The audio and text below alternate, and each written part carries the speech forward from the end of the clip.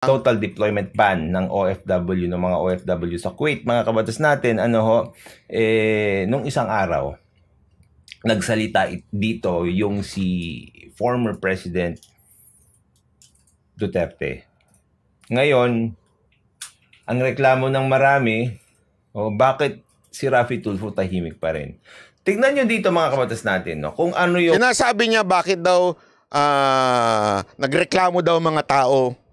Ikaw ang number one reklamador. At yung mga kabutasin mo, mga kabutas mo lang, ang naniniwala sa'yo, ilan lang kayo.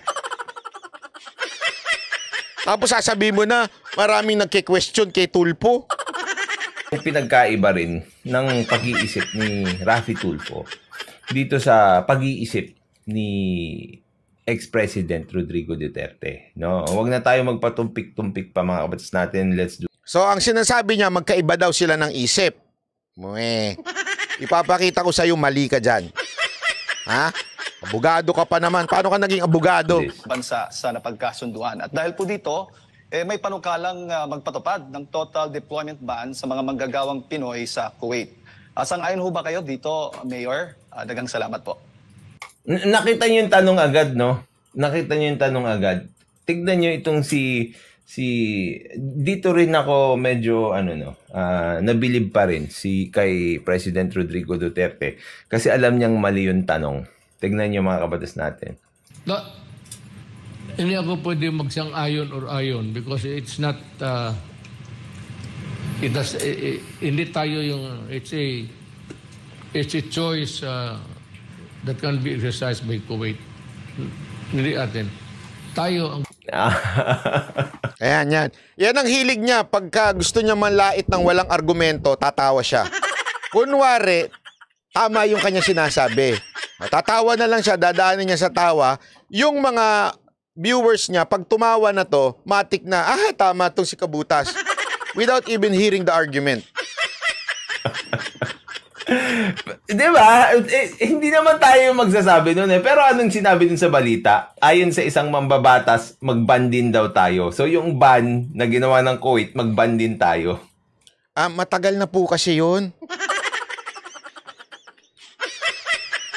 Out of context naman to si Liban. Matagal na po yun na sinabi ni Rapi Tulpo. Hindi pa po nagbaban ng Kuwait noon. Tayo pa lang ang nagbaban. Kasi sinasabi niya ngayon, ibinabangga niya sa sinabi ni Duterte, ni Pangulong Duterte na sinasabi na, ah, kasi medyo parang ikinorek niya yung, yung reporter na nagtanong na sinabi, ah, hindi na sa atin yung call. Call na yan ng Kuwait kasi Kuwait na, Kuwait na nagban. Okay? So anong mali doon sa sinabi ni Tulfo? Ito kasi pinalalabas niya. The answer of PRRD, kinukorek yung mali daw ni Tulfo na sinasabing dapat tayo ang nagban. Sinabi niya niyon noon pa. Bago pa magban ng Kuwait. Out of context ka naman. Di ba? Doon yung makikita yung kalokohan talaga ng pag-iisip ni Rafi Tulfo. Kaya nga tinatawag na may hina yung utak niya at saka susyunga-syunga. Kasi nga, yan, binan. Oh, binan tayo. O, iban din natin. Ay, walang sinabi. Si Tulpong ganyan. O binan tayo, iban din natin. May sinabi bang ganyan? Yan ang dahilan niya, ha? Ang sinabi ni Tulpo noon, nung dumating yung namatay na OFW, bagban tayo. Yun yung sinabi niya. Not because nagban ng Kuwait. Ang tanga nito, sorry ha, pero pasensya ka na, pero ganyan ka mag-isip na abogado? Anong klaseng uisip yan? Yung mga, iban din natin yung mga ano, yung mga OFWs natin sa pagpunta doon. Eh, hindi na ho pwede kasi nga ho, naban na eh. eh, dati kayo, ano, para ano masasabi? Wala, wala ka masasabi. Ayusin mo muna yung pagsasalita mo, hindi namin maintindihan. Paano ko magkokomento? Ano, ay, ay, Talaga, kasi nga, wala naman yung decision sa'yo eh. Di ba? Gusto nila i-ban mo na I don't know if it's temporary or permanent but uh, yun ang hintayin na lang natin our government is talking with the government of Kuwait na baka maariglo rito kasi kailangan Ah, so sa pagtitignan yung mga kabatas natin, areglo talaga ang usapan. No. Kaya yung mga tulfonatics, kahit anong palusot nila dito mga kabatas natin, hindi nila may pagmamayabang no at hindi nila alam kung saan sila lulugar dito kung aakuin ba nila na si Rafi Tulfo ang sanhi nito o hindi Ang hindi, ito kasi ang ginagawa niya eh. Parang sinasabi niya, magkaiba yung sinasabi ni Rafi Tulpo at saka ni, ni Pangulong Duterte. Parang magkasalungat. So parang ang dating, sino ba dapat ang paniwalaan natin, di ba? Parang ganun. Parang, eto nga, alam nga ni Pangulong Duterte. Una-una, Attorney Kabutas, magkaiba ang konteksto ng sagot ni PRRD ngayon at yung panahon na sinabi ni Rafi Tulpo mag-ban. Pinagtutugma mo na magkaiba ang panahon. Hindi pa pwede mangyari yon. Mamaya ipapakita ko sa iyo kung bakit. Alam nyo kasi mga kabatas natin, if you can if you if you will look at the Tulfonatics and how they try to to play this particular issue. Nung una mga kabatas natin at napapansin natin kay Attorney Harry Roque doon, sinasabi nila na na kung ayaw nyo diwag. Parang sinasabi nila na dapat talaga mangyari yan. Ang narrative nila nung umpisa, mga kabatas natin, eh, it's like it is what we needed. It's not our loss, it's your loss, 'di ba? Tapos maririnig nyo rin dun sa mga vloggers nila na sinasabi nila na we cannot lose. Parang one life is too much already. No, to lose doon sa mga issue tungkol sa quit na ganyan. Yun yung narrative na gibina, sinasabi nila. Bakit? Ang ginagawa nila doon, they're trying to ease out na makondisyon yung utak ng mga tao na tama yung sinabi ni Tulfo. Tapos kapag kun Ah, ah hindi. Ito kasi. Alam mo, nung una, hindi ko napapatulan sana to kasi medyo mababa yung ano eh. Yung understanding niya pagdating sa OFW. eh. Pasensya na, pero ang sinasabi niya kasi, kaya daw sinasabi ng mga vloggers, which siguro ako yun, isa sa mga vlogger na yon na dapat iban. Kasi one life, eh matindi ng dahilan yan. Ang dahilan niya kasi, sinasabi niya, kaya daw natin sinasabing ganun. Eh dahil daw gusto natin itama yung sinasabi ni Tulfo. Nagigets nyo? Kaya daw natin sinasabing one life, eh, enough na to ban the Filipino going to Kuwait.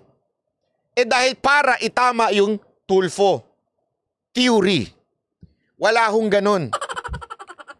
Kami yung mga vloggers, ewan ko yung iba ha, pero ako personally, kaya ako sinasabing gusto kong iban because there is a pattern in Kuwait, particularly in Kuwait. Sabi ko nga sa'yo, kung ikaw ay OFW, alam mo yan. Na iba ang ugali ng Kuwaiti sa ibang mga Middle Eastern. Yun ang punto namin dito. Hindi namin, in- ako nga hindi ko iniisip na binaban ni Rapi Tulpo eh.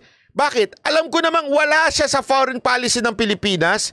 Hindi siya ang nagdidikta ng foreign policy. Ang presidente. Ewan ko ba sa'yo, Atty. Kabutas, para kang hindi abogado? Naintindihan mo? Ulitin ko ha. Ako, na vlogger, wala akong pakialam sa sinasabi ni, ni Tulpo. Bakit? It doesn't make any difference. Wala siyang magagawa. Hindi siya ang magsasabi. O, magkaroon na tayo total ban. Hindi. Presidente lang, presidente. So wala akong pakialam sa sasabihin niya. Ang punto ko lang, alam ko. Bakit? Kasi ginawa na ni PRRD yan noon. Kaya kung ibabangga mo si PRRD kay Tulfo, kunin mo yung buong context. Ano ibig sabihin? If PRRD is still the president, he would do that. Gets? Yun ang gusto niya. Ginawa niya nga eh. Uulitin niya pa yan. Sa dulo. Sasabihin pa ni PRRD yan. Oh, ano punto ko? Ngayon kasi hindi na siya presidente, maingat na siya magsalita. Kaya nga 'di ba nung tinanong siya, "Oh, gusto mo ba mag ano ka diyan, drug czar ka na, anti-drug, anti ano, drug ganyan ganyan." Ano sabi ni PRRD? Wala, di ko na hindi na ako presidente, hindi ko na panahon 'yan. Hindi ko na ano yan, say na ng presidente 'yan. Ganun kasi si PRRD. In terms of policy making, alam niya na hindi na siya presidente. So hindi na yun ang kanyang sasabihin. Gets mo ba? O hindi pa rin? Ulitin ko pa? O yung mga kabutas mong ah, anga-anga, eh magpapaniwala lang sa'yo. Ulitin ko ha? Walang ako, particularly ako, wala akong pakialam sa sasabihin ni Tulpo, ni Tulpo, ni Roque, kung sino mang hinayupak na hindi presidente. Bakit? Presidente lang ang nagbaban. Yun lang ang nagmamatter sa akin bilang vlogger.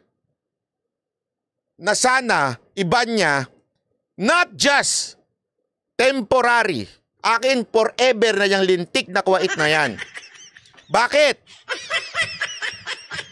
Kasi hindi lang yan ang nangangailangan ng Pilipino. Ang context, merong Saudi na nangangailangan ng isang milyon.